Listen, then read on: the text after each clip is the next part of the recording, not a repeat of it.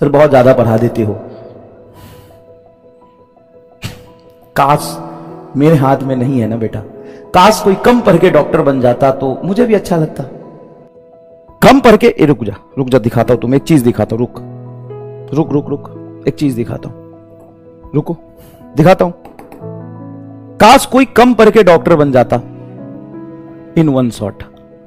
हम्म देख complete eleven physics in one shot मेरा ID भी लॉग इन नहीं रैंडम सर्च किया ये आ रहा है।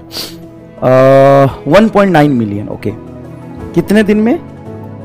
थोड़ा रुकना कम पढ़ाने का वो मैं जवाब दे रहा हूँ बस।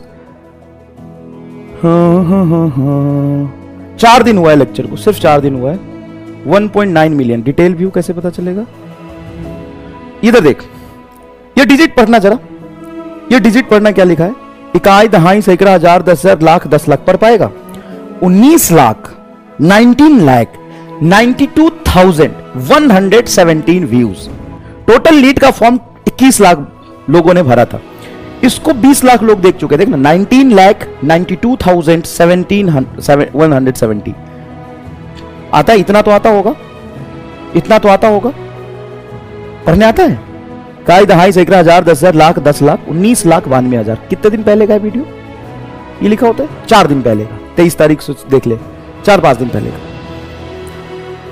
और तू यहाँ पे स्पैम कर रहा है? सर, बहुत पढ़ाते हो, बहुत लिखना पड़ता है, बहुत नोट्स बनाना पड़ता है।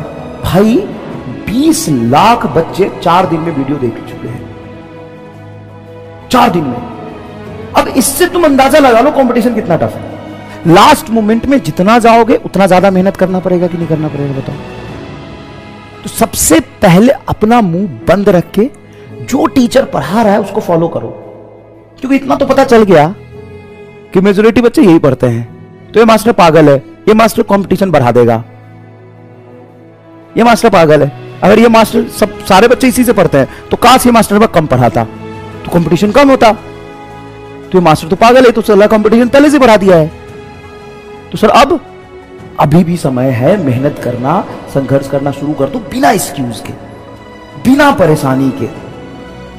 चुपचाप पढ़ो, मेहनत करो। क्योंकि तुम एक्सक्यूज दस दोगे, जिसका सिलेक्शन होने वाला है, वो मेहनत कर रहा है। तुम्हारे एक्सक्यूज से तो कोई फ़र्क पड़ता नहीं बेटा। कौन सुनेगा? कमज़ोर की कोई नहीं सुनता।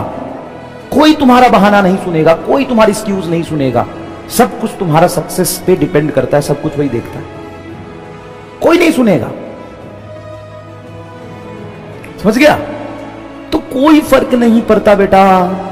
अभी भी समय है, सुधर जाओ, मेहनत करो चीज़ें धीरे धीरे ठीक होंगी इंप्रूव होंगी और इंप्रूवमेंट दो चीज़ें हमेशा याद रखना। बहुत ज़्यादा मेहनत और पेशेंस पेशेंस भी लगता है, मेहनत से नहीं होता। क्योंकि तुम हफ़्ते भर पूरा मेहनत करके पढ़ लो, तुम चोमू के चोमू ही रहोगे। एक महीने पढ़ लो चोमू के चोमू रहोगे। दो महीने पढ़ लो, थोड़ा बहुत इंप्रूवमेंट दिखेगा। समय लगता है इंप्रूवमेंट दिखने में, समय लगता है। समझ में आया कि नहीं आया?